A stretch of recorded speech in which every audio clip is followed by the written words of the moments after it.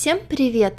Сегодня хочу показать вам вариант нанесения гелей с блестками. У меня гели Beauty Lux с AliExpress. С виду в них много блесток, а геля мало. Все как и должно быть.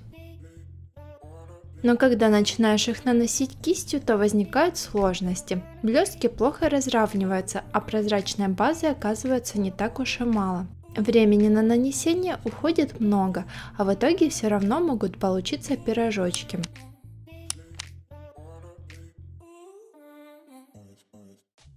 Чтобы убрать лишний слой, можно спилить его пилкой или использовать другой способ нанесения. Сначала я взяла аэропуфинг, с его помощью уже немного легче распределить материал.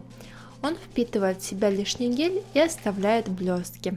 Кстати, аэропуфинг можно протереть жидкостью для снятия липкого слоя, а затем промыть под проточной водой. После высыхания он как новый. Для второго способа я взяла кусочек обычной кухонной губки. У нее более крупные поры и за счет этого она вбирает в себя еще больше лишней прозрачной базы.